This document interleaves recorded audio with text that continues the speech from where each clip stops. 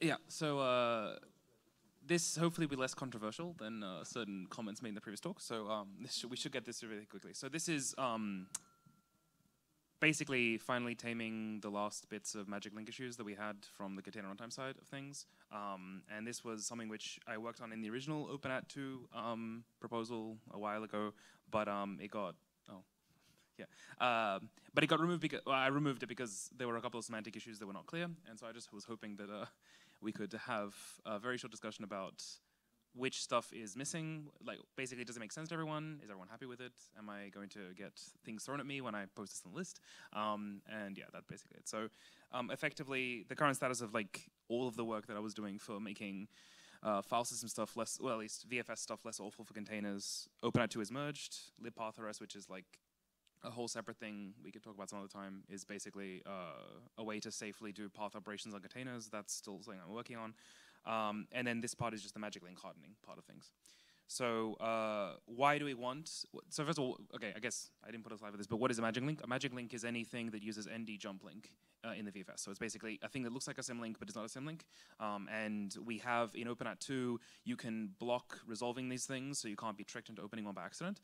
Um, but uh, the hardening stuff we're talking about here is basically, um, as an attacker, and we have had CVEs, several CVEs in container runtime specifically about this issue, which is that um, because because once you have a handle to the underlying file, so okay, because Magic Links lets you get access to the underlying file, if you have a container manager that is joining a container, there is a window in which, depending on what kind of privileges you set up, what kind of permissions the container process has, and many other things, um, you can grab a handle to, for instance, proc pidexe of the container manager, you have a handle to this file. Now, obviously, you can't open it for writing at the time because by definition, it's a live MMO of a process. It can't be open for writing. You get etext busy. But if I have a handle to this thing, I can then wait for it to die and then I reopen it for writing. You might ask, why, why on earth would a container process have the rights to open a file on the host as root? Um, well, because that's how like Kubernetes and like every other major, well, like major, obviously some people don't do this because they realize this is a bad idea, but uh, like most stuff that runs on containers, people are not using user namespaces, they're not protecting things the way they should be doing. Um, but there are other things where like you could imagine a setup where I have copied, the, like I have downloaded the code necessary to run my own containers on my machine, and I run this thing, it would be very strange for a container to, for a container to overwrite stuff that's on the host. So anyway, being able to fix this properly would be nice, because the moment runc and lxc and uh, crun and pick your container runtime, uh, they all do a variety of awful things to make this attack go away. Uh, the one that we do in runc is, and, and lxc, and I think basically everyone else, is that we make a copy of the entire binary for every single container. When you start a container, the first step is, okay, I now open proc self-exe, I create a memfd, I copy the contents of the memfd, I seal the memfd, and then I execve that MF, memfd, because then I'm absolutely sure that even if you can overwrite the damn thing, it won't affect other containers in the system. Uh, there are several caveats about uh, things. Anyway, it's, I'm sure we all agree that is all absolutely awful and should not exist. Um, but unfortunately, it's necessary because we can't defend it against the other way. So this is, I want to solve this problem. And in addition, being able to restrict the reopening of files, effectively like a capability style setup, I think makes sense in general. So I think that both of these things we can solve with this one thing. So basically, there is a patch set which I posted a while ago. I, it's on my, it's on my, um, my, I have on my Linux tree. You have that it exists. But basically, what it does is that it, the design is that uh, and I'll explain what this means exactly in a second, but basically when you try to reopen a magic link, so you try to open um, procself fd blah, it will not allow you to reopen it if the mode you requested is not a subset of the mode of the magic link itself. And uh, then it also adds something that, is, that has been, uh, would be great if we had, um, which is O_EMPTYPATH, which basically lets you do exactly the same thing, but without having to go through procfs, you just have the file and you say, please, please reopen this for me. Um, and then uh, it also adds um, um, way to mask this. So with OpenAT 2, you can set a new thing in the open house struct. You can set the mask reopening. So you can say, open this file, but do not allow it to be open for rewriting, open for writing through through the regular, um, yeah, through through reopening, and then uh, all this information is exposed in FD info um, as like an extra field. Um, so what exactly does it mean to say that you cannot? You need to be a subset. So what this means is that for a, if you do an OPath of a regular file, you can reopen it any way you like, unless you have a, a, a mask set. So this is all without a mask set. So like just regular open just regular open of it with OPath, you get you can reopen it with anything, um, which is the way it works now. Then with OPath of a magic link, you copy the mode of the magic link. So if the magic link does not have the right bit set in like the sorry because magic links uh, unlike regular symlinks, they have uh, magic modes, and the mode actually has like you get, like if you have an open a file for reading for reading only, the mode has only the read bit set. It doesn't have the write bit set, for instance, um, with caveats. But this is the, the, the general way it works. So um, when you do an OPath, the OPath will copy the mode. So that means if you have a, if you have an OPath of the of proc self exe of the proc blah exe of the container, if you OPath it, you get the same restrictions. So the restrictions get copied with OPath. And if you open it with any other regular mode, it's just the obvious, like if it's read, it's read, if it's write, right. Uh, and then all this is based, so reopens are based on the magic link mode, which is based on the F mode. So the magic link mode is based on the F mode. Um, and when you do with uh, O_EMPTYPATH, it just uses the F mode. Um, so yeah, so that's the current patch. So basically the questions are, um, and we can go through, we'll go through each one, I, I, have, I, have, slides for each one, but if you would like to scream at me now, please do.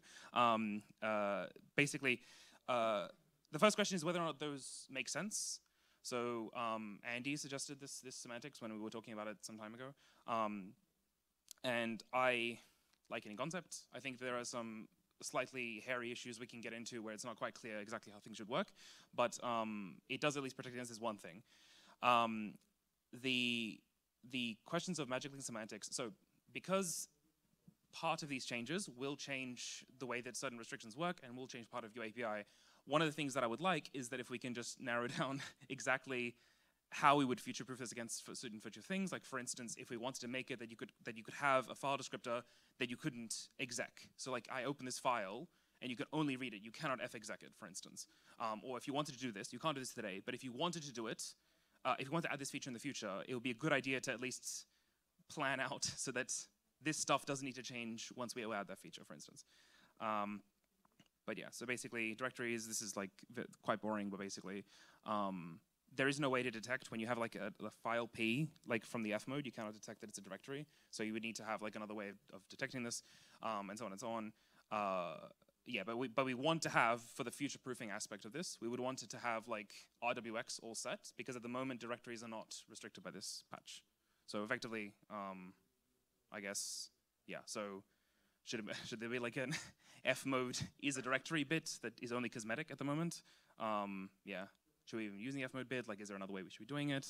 Um, and also reader is currently not, because the current way this works is because of the way that the way the magic links work is that they're all like, uh, well, they're, they're, magic as in the name, um, because it's all being piped through ND jump link and everything else. You're in a situation where um, it like, every, every single, if you want to make more restrictions that apply to this stuff, you need to like rework the way that lookup works such that it like you save this information during ND jump link and then during the part of lookup you then like handle this which means that for every single like if you wanted to change the way that if you wanted to restrict resolution through these things which this which this patch doesn't do if you wanted to restrict re resolution such that like oh I create this handle to this directory but you cannot readdir it or you cannot go underneath it um, you would need to add like a bunch of other restrictions to a bunch of other places. So I guess I didn't add this because it wasn't clear uh, I mean, it is, to me, it's obvious that it's something which would not be a bad thing to have, but it's not clear whether people would be happy with like having like this littered all over the place and so on and so on.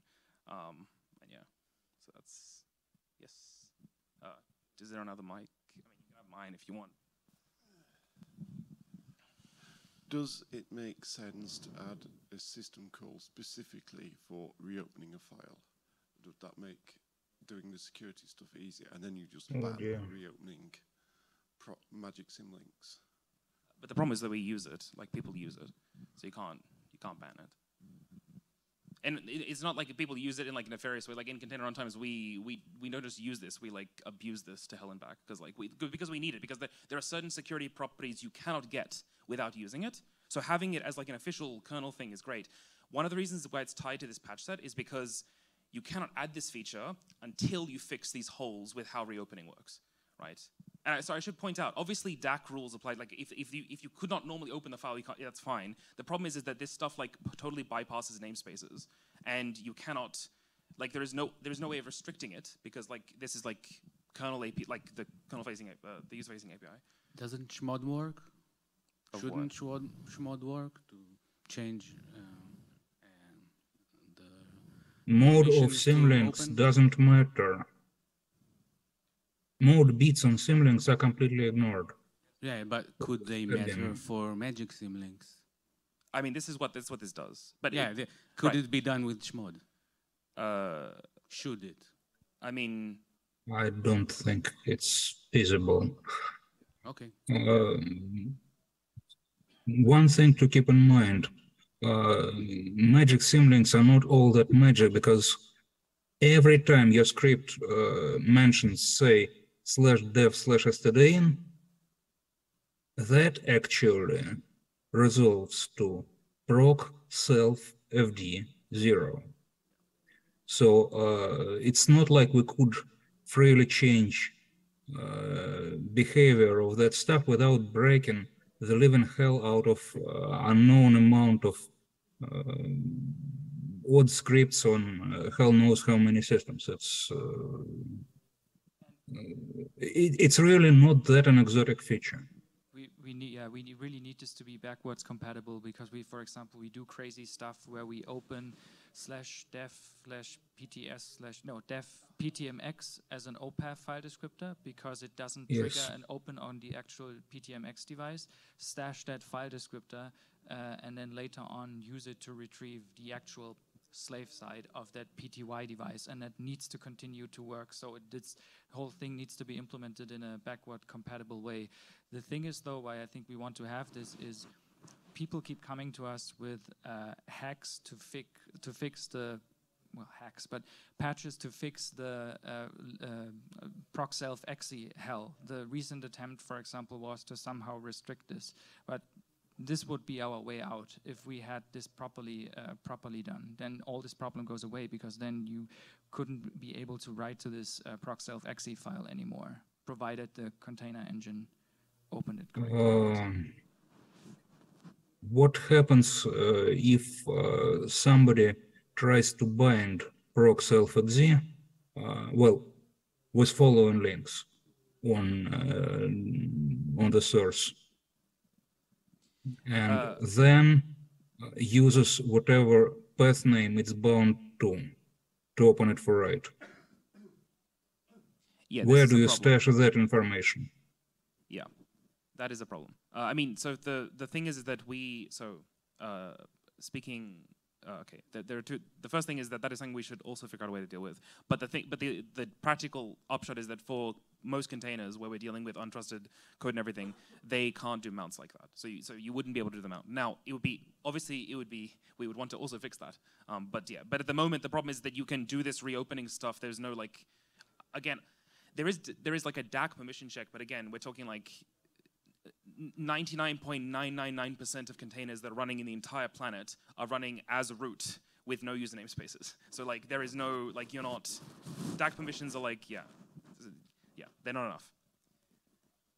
But I, I agree that that is a, that is a separate problem that yeah I, I would need to sit down and think about how we would deal with that because I agree that is um that is something yeah which we would also need to block. The thing. The whole the whole the, whole uh, proc self attack vector is really just an attack vector be, because they don't uh, use user namespaces. They're not. I mean, obviously not the solution to uh, to uh, to everything, but they do block the proc self um, attack.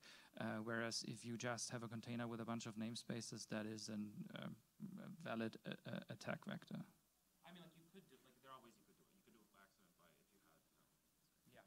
Yeah. Like there are situations where even with user namespaces you would be you would be vulnerable, but like uh, how practical they are is like a different topic. But like for instance, if like uh, going back to when I first started working on rootless containers a long time ago for Runc or whatever, you would the use case was like I have no access at all. Like this was like I've been given a machine by a university supervisor who hates me and doesn't want to give me any packages at all. I download all the stuff by myself and then I run I I so the Runc binary is owned by me and then I start a user namespace where I am root because there is I can only map one user and then in that case you could overwrite it. Now, how useful that use case is like a different topic. But the point is that like there are use cases even with spaces where, that, where there's also a problem.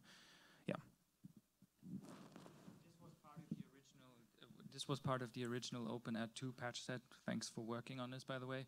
Uh, and uh, yeah, I I find this to be extremely uh, useful if we could make this work because I think it's pretty. It, it makes the OPath OPath file descriptors a lot more useful uh, as well. Um, you get a lot more um, guarantees uh, for them uh, from them, and uh, that that is also, by the way, the reason. Uh, even though this is going in a, is related to that, but that is one of the reasons why I tried to prevent uh, being able to use OPath file descriptors in ever more system calls. The recent patch that was, for example, where someone wanted to use an OPath file descriptor in the setxattr uh, system call. And uh, I really don't like it because it makes OPath as a concept uh, way less useful by giving it ever more capabilities. Um, it should be with no way of, of limiting it. Uh, like if we have a way of meaningfully li- uh, limiting it, then this is a different story. But uh, this would be, uh, I think, this would be a great addition. Yeah. Um, but yeah, so yeah, so, so basically, I guess the theme of the talk is basically so. At the moment, it solves this one issue, which is the proc self exe issue. Like that issue is solved with the patch set. Um, the only question is that, that it seems to me that effectively, it would make more sense if we, like, actually just had this. So, effectively, right now, because because symlinks. Uh, because the permission modes don't matter and because magic links act like symlinks in many ways, you end up with a situation where like, oh, like there is no check when we are going through a symlink of like, do, like does the mode make sense? Even even if we're using it as a directory, it, there's no check of that because it's a symlink or it's a it's a, it's a magic link. I, and then ND jump link means that it's like even it's more magical. But the point is, is that when I say magic, I mean like it's not like within the realm of regular like oh a symlink is just you replace that part with the contents of the symlink. That's what I mean by magic link. But anyway, so um effectively it seems to me that yeah like the the most logical the nicest thing would be is if we had the mode of the of a magic link to a directory for instance uh, acted the same as if it was an actual directory. So like if you were to have if it had no read bit you could not read it for instance. And if you had no exec bit you could not resolve through it for instance. And this would then be all be stuff that you can that you can deny using uh, openat so that means that you could use openat uh, now there are there are things to consider with regards to if we were to do this with directories. The reason why it's not done in the patch set is because it becomes way more complicated because you have to think about well, okay, that means that every single at sys call then has to reject it because uh, technically if you do an open underneath it, you need to then block that because it doesn't have read permissions or exec permissions or whatever. So it gets more complicated, which is why it's not in the current patch set. Sorry, word count. I apologize. Um, I speak too fast. I'm sorry. okay, uh, watch it back at uh, half speed. Um, yeah, but no, sorry. Uh, the short version is that um, yeah, so I think that, and then uh, the other thing is the exec bit, for instance. So at the moment, uh, you cannot, so there is no way to open a file, sorry, there's no way to have a file handle that a process cannot fexec. Okay, because there is no restriction again. I, obviously, if it's if it's if it has the exec bit set on the actual file, but the point is that like if you have this handle to let's say I don't know a set UID binary or something, and you want to hand this handle to someone else, and you don't trust them, they could exec it if they wanted to. Now, obviously, you would hope that a SetUID binary wouldn't have bugs or whatever. But the, the point is, is that you ca- there's no way to restrict that. You cannot restrict resolution through directories as like on a on a file handle basis. And I'm not suggesting that we. Well, okay, I'm saying. Should we implement now? Question mark. But like, even if we don't implement it now, um, I guess basically, I think the design of this should also be able to have this in mind. So if we were to add this in the future, at least you wouldn't have to rethink the way that the magic link changes would work.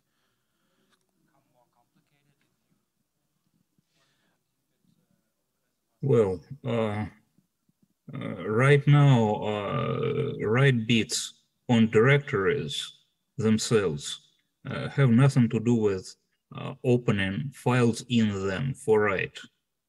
Uh, Yeah. What you are suggesting to change, uh, well, Uh, no, no. So what I'm suggesting is that if we had, um, okay, so if we have, excuse me, uh, with the exact bits. So what I'm suggesting with directories is that basically, if I have a an opath to a directory and I've set it such that it does not have a write bit in procself fd blah, then I cannot mkdir using that thing. So I cannot mkdir at would fail, is what or, or, or whatever ocreat under that thing will fail. Is what is what I'm saying. Semantically, that in the would- thing or under the thing. Well, it's a directory so under the thing. So like you have, I, ha- I open slash foo, uh, I open slash opt with with no write bit using using was it's opath, but I, I I set the mask such that you cannot write to it, and then I then try and then I then try to mkdir at that file descriptor something that would fail is is not what the patch does. I'm saying to me that semantic makes sense, but I don't know if it's something which if we should pursue it, if it is something that is too complicated to do everywhere. I don't know. That's why I'm that's why I'm bringing it up.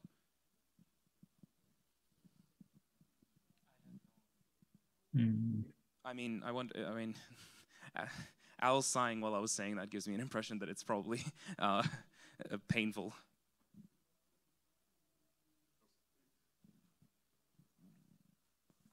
It sounds fairly straightforward. Basically, you're putting an ACL in the struct file that anything that wants to do something with that struct file has to obey. So you can say this struct file, if you're using it as a base for mkdirat, can't do writes, can't do lookups, or can't do reads.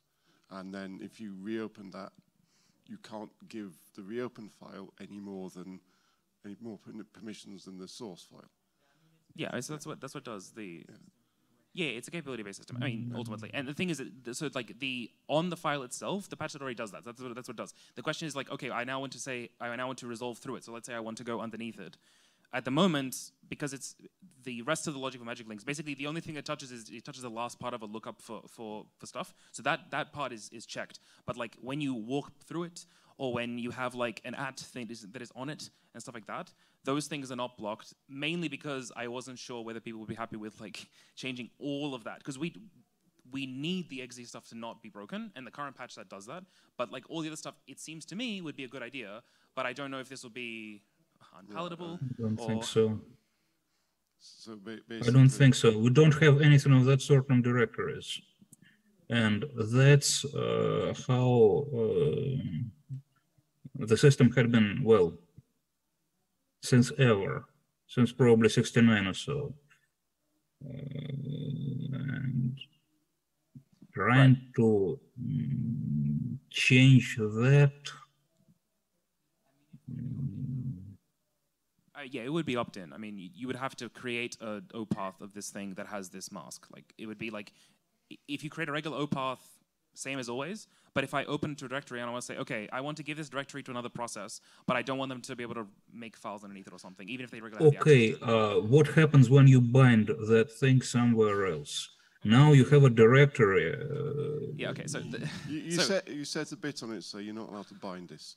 Yeah, so I yeah I, I'm going to like put a giant asterisk on the entire, this entire talk, which is that uh, bind mounts mounts. t- yeah, yeah, t- yeah. TBD on bind mounts. Yeah, no, I, I agree. So yeah, again, so um, you could say the bind mount thing for basically every here, thing here, which is that like if you can bind mount it, this stuff does not help. But the thing is that in 99.99% of like all containers everywhere, they can't bind mount it. That doesn't mean we shouldn't fix the problem. I'm just saying that like, uh, yeah, that it seems to me like yeah, if we just block, I mean, we, oh, we can't really block bind mounting.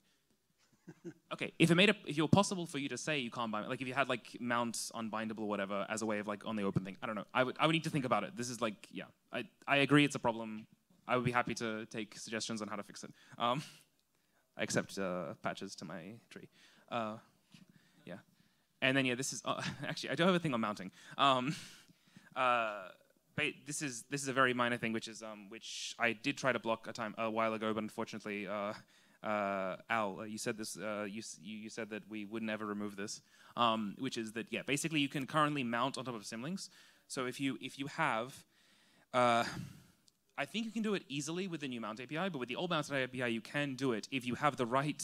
If you do it through enough indirections through magic links. So if you have if you open an ono follow to a file to a, to a symlink, you have a handle to the symlink. You then mount through proc self fd blah to that ono follow. You can mount on top of a symlink, uh, and as long as it's a non-directory, it'll work as normal, um, and it's all great. The only problem is that if you do this on top of a magic link, uh, from a user space perspective, there is like literally nothing we can do to protect against this. Like you cannot because. Okay, so from the use case of containers, Actually, uh, actually, I suggest a much simpler solution for that. Don't allow to bind anything on uh, proc, uh, pid, whatever, slash this or anything like that. because other than because that's uh, we, we shouldn't be allowing any uh, mounts in that area by like by an unprivileged user, you mean? by Anyone. anyone. I mean, it- Because so- so what sorry, I- happens, what happens when proc process exits? Yeah. It's, a, it's equivalent to overriding a system call. So, so, so you're saying like from the kernel perspective, just block mounting on top of proc or sys or whatever. Well, Yes. except- Uh, not not except not for you- procfs itself. We already have a way to uh, mark inode as uh, don't mount on that. We al- we already do that for uh, we we already have that uh, mechanics, and uh, I would say that anything uh, that isn't persistent enough and uh, proc uh, 42 something something something definitely isn't Okay. uh, should just get that treatment by default. Okay, I, I'm, I'm, I'd be, I cannot tell you how happy I am to hear that. I, w- I will write the patch like literally as I exit the room. Like, yes, that I would love to have this. Yes, please, please, we need to stop because it's like there are so many. There are, it, yeah, I, okay. I, I mean, I actually, I had, well, okay, I don't have time now, but I was gonna have time where I would spend like five minutes talking about how many awful things this enables. Sorry. Oh, uh, w- w- except that we have proc FS and FSD. Uh, you have to be able to mount that. Proc, sorry. Proc, the NFS DFS, proc FS and FSD is a separate file system that gets. Like, like NSFS. That's like the name- fine, but uh, That's fine. that is persistent. We should just do it on do it for uh, proc uh, PID uh, for for subdirectories for per proc per, per- per thread uh, subdirectories in uh, procfs and anything under them. Yeah, but that's just mount, that's mounted by the kernel, not by user space. Is that right? No, Doesn't matter. Uh, places like proxies uh, are obviously not going away. That's there is no magic there. No, no, but but proc PIDNS is, is is kernel mounted. It's not user space mounted because it's automatic. Like when you start a process, it has its own thing. Yeah. But yeah, no, I yeah, I uh, again, I kind of yeah, because it's like if if you don't block this somehow. Uh, even with OpenAT 2, magic links are, are unsafe still because you cannot be sure that the thing. So because Resolve no XDev blocks mount crossings, but with magic links, I want to cross cross a mount point, but I don't want to be crossing a bind mount on top of it that I can't be aware of. And it's like, oh, I'll just check mount info. It's like, well, it turns out that you can have race conditions where yada yada. So yeah, so um, yeah, if we can block this entirely, I, I'm I'm very happy to hear that it's something which we which which you'd be happy to have uh, patched to block this. Yeah, because I think And you could you you could bind mount bits of uh, proc on other bits of proc, and so it still looks like slash proc. Uh, it's, the, the things we can handle that. So because so the so what we can do is you can have if I want to act on proc proc self or proc uh, proc self blah, I open the parent. So okay, I want to okay I want to reopen a PID. Let's say oh no I want to access proc self exe, for instance, which we do in runc. We re-exec ourselves through proc self exe. So I want to access proc self exe. I open proc self with openat2 with no xdev, no sim, uh, not proc self, proc my PID. I open that with no xdev, no symlink, no magic link, no funny business. Um, there's no, that's not a thing, but whatever. You block all this stuff, and then you then open underneath that exe, and uh, in that case, if because it's a kernel API, I can check, I can check that the slash proc is the real slash proc because the inode number of slash proc is set in the kernel as part of the API. I can check that it's a real thing. So I'm definitely sure the root is right. I'm definitely sure that all the directories are right because I, I OpenAT2 guarantees that from me. And then I'm, I'm finally at blah. I know that nothing can over, once this is done, I know that nothing can overmount exe. I can then just exec, uh, execveat, exe, and there's no, nothing that can mess with it. Because you, because you, I, at every single step, I've checked that it is actually what I think it is. So, as far as I can tell, that is actually, and also we can, uh, with a clone tree, you can create a copy, a private copy, a copy of pro- proc. So there's no, there's also additionally no race conditions as well, but that's a different, that's a different discussion. But yeah, um, I think that that would protect against this thing. You're looking at me funny. But I was talking about Oh, sorry, we don't. Have, sorry, we don't. I think we're out of time. Sorry. We can talk about this outside. time Yeah. later. Yeah, yeah. Okay. Thank you very much.